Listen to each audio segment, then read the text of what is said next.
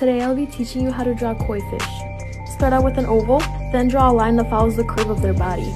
Use that line to guide you when drawing the rest of the body. It should look like a long teardrop.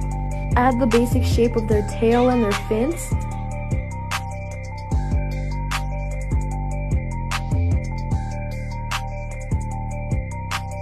Accentuate the shape of their head, then add more lines and curves for definition. Give him a cute mustache, and also don't forget the fin on top of their body. Next, outline with a pen. Do not outline the bottom of the fins. Add some more detail to the face, including some curves and some lines.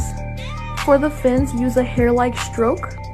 At the end of the tail, add a curved W shape and continue to draw the lines out of that. Now for the bottom of the fins, pretend you're drawing one of them heart monitor lines. It should look like uneven stairs.